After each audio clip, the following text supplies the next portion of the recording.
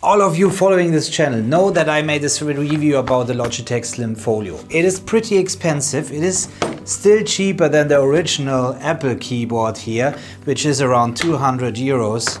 Um, while this one is around 140. But I tell you what, on this video about this Logitech keyboard, I also got comments with an alternative which is this one.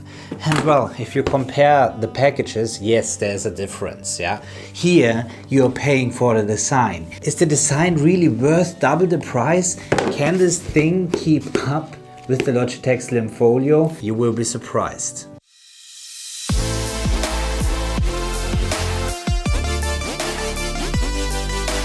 So let's get this out here. So there's not much in there except this case. There we go, and here it is. It looks already very slick, isn't it? So um, I like the feel of the outside. It looks, compared to this one, it is pure black. I don't know if you can see the color difference. So this one is pure black, that's grayish thing and so on. But it is a bit bigger and why you will see in a second. But if you have the Apple Pencil here, it will be the same size, yeah, compared to the Logitech. So let's open this and uh, I put back everything back in and there you see already the lights are on and they are they are colored. Okay. And here's the big difference. Let's put in the Apple iPad Pro 2018 and I will use the other iPad Pro and add it to my Logitech so we have a direct comparison. So now we have the iPad Pros in both cases, okay? On the Logitech you have no protection on the side while on the Inateck one you have protection on the side as well. So for the Logitech you have the protection only on, on the corners. The other thing is obviously that the Logitech got this flap which some people are actually annoyed that this is there. So it isn't on the Inateck one. So you can put the Apple Pencil just on top and carry it around like this. It is not as nice as for example with the Zugu case, where they actually made the shape of the Apple Pencil perfectly in the lower one, which is the Zugu case. And on top we have the Inateck case, where it's not the same. So you see when I put it down, it fits perfectly. It's not the case on here. So what this actually means is that it stands up a bit and it might lead to the problem that you could stick here and it falls off, okay? However, they have a workaround as they added on the bottom here a place where you can actually put the Apple Pencil. So it's secured, it's not charging all the time. So uh, for the Logitech in comparison, you are adding it on top and then you put the flap around and that's it. And here as well, you can stick on there on somewhere. And you also can put it in here so it won't charge when you close the flap. But now let's go to the keyboard and that's the very interesting part here now because I really like the keyboard from the Inateck compared to the keyboard from Logitech. So both are backlit, but on the Inateck you can change the color actually. And now let's see how the comparison of the writing is. So if you want to write with the Logitech Slim Folio, you just have to put it like this. There are magnets, it will stand like this and you can start to write. Here it's a bit more complicated. There is not such a stand. You have actually to pull out the back and then you can adjust it like this in different positions which is not possible on the Logitech in different positions. So if you compare these two different keyboards with each other, you see this one has an angle which you can just adjust and you can just pull down. So it's flat or you have it like this and it's in this position whereas you have here always flat.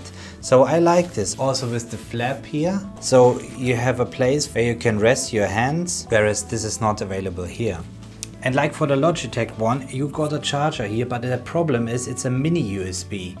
So they really have a great solution on Logitech one, because there you can just use the normal USB-C to USB-C where you charge your iPad anyway and stick it into your Logitech Slim Folio and also into your iPad and will charge. Here you need a USB-C to mini USB cable to charge the whole thing on the go and it's not included in the package.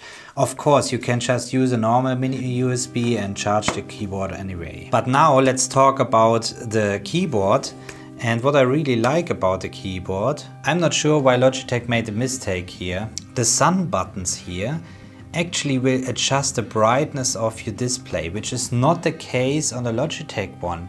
On the Logitech one, it will change the brightness of the keyboard instead of the display. And that's useless in my opinion because you have three different steps of lightness on the Logitech one compared to this one. And always keep in mind and that's much more uh, needed. So for the Logitech one, I always have to go in here if I want to adjust the brightness. And you can see also that the Logitech one got only 14 buttons on top, whereas we have 17 buttons here on the Inateck keyboard, which also includes select all, copy, copy paste, cut out, and now we have something very important here for many people. Okay, there's an extra delete button. There's the backspace button and a delete button. So this means if you're writing something, I can go in between and press the delete button and the backspace button. So that's what people are actually missing from the normal keyboards and it is available on here. And Again, this is half the price of the Logitech Slim Folio. We can adjust the colors here so you can see I can make this green. In the middle I can do it uh, bluish and on the right blue. So we actually see the paperless movement colors here. So let's switch off the light so you might be may, maybe see the colors better. Let's put it like this and you see even with the lights on the lights are very bright, whereas you see on the Logitech one at the moment the lights are on, but you can't see it at all that there are any lights in the background. So of course you can put the Apple Pencil on top here and uh, I must say it is really nice. So the feeling about the keyboard is it feels really nice to write. So I would actually love to have this keyboard on the Zugu case. That would be awesome it is just around 60 euros compared to the 140 euros the Slim Folio costs or the 200 euros the Apple keyboard costs. It is just an awesome deal. Now let's make the weight differences. So you can see it's a 1400 grams for the Inateck uh, case, whereas it is it is 3340 grams for the Logitech one. So I'm surprised here now that because I would have thought that the Logitech is heavier, but it's actually not the case. So this one is about 50 grams heavier and I know many complain already about the weight and bulkiness of this uh, case from Logitech already. However, if you don't mind about the weight, then I think this is a great deal. The thing I don't like are the buttons. So there, it's a usual problem with the buttons because also for the Logitech one, at least you feel that you are pressing the buttons because it's clicking. Here, you don't feel it at all. So this is really bad here. I have to say this is really bad, especially compared to the Zugu case, which is the best solution for the buttons. However, of course, you don't have a keyboard in the Zugu case. But if you don't need a keyboard and you want to use a external keyboard or Bluetooth keyboard, then I still recommend using the Zugu case as I showed you in another video already. So as you're paying a lot less than for the Logitech Slim Folio and you want to save the money on this, I know many say, oh, you bought already an expensive iPad Pro, why would you save money? In this case, you get a bit more for your money actually I think if you don't mind about the button feeling here especially the keyboard is much better than using the Logitech Slim Folio. So if you think this video was interesting share it with your friends tell your friends about the paperless movement give it a thumbs up and leave a comment below what keyboard case you are actually using and I see you next time.